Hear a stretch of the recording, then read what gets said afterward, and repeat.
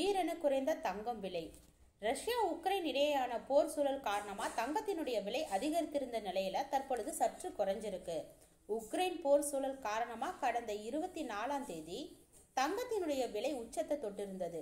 கடந்த இருபத்தி நாலாம் தேதி சென்னையில இருபத்தி ரெண்டு கேரட் ஆபரண தங்கத்தின் விலை பார்த்தீங்கன்னா சவரனுக்கு ஆயிரத்தி எட்நூத்தி ஐம்பத்தி ஆறு ரூபாய் உயர்ந்தது. இதனால முப்பத்தி ஒன்பதாயிரத்தி அறுநூத்தி எட்டு ரூபாய்க்கு விற்பனையானது.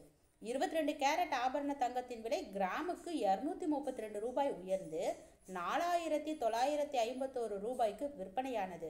அதே போல சென்னையில் வெள்ளியினுடைய விலை ஒரு கிராமுக்கு நான்கு ரூபாய் உயர்ந்து எழுபத்தி ரெண்டு ரூபாய் எழுபது ரூ பைசாவுக்கு விற்பனை செய்யப்பட்டது.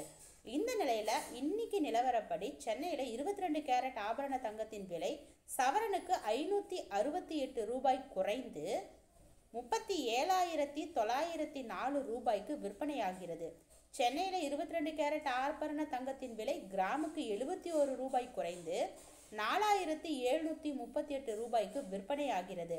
அதே போல் சென்னையில் வெள்ளியினுடைய விலை கிராமுக்கு ஒரு ரூபாய் குறைந்து அறுபத்தி ஒன்பது ரூபாய்க்கு விற்பனையாகிறது.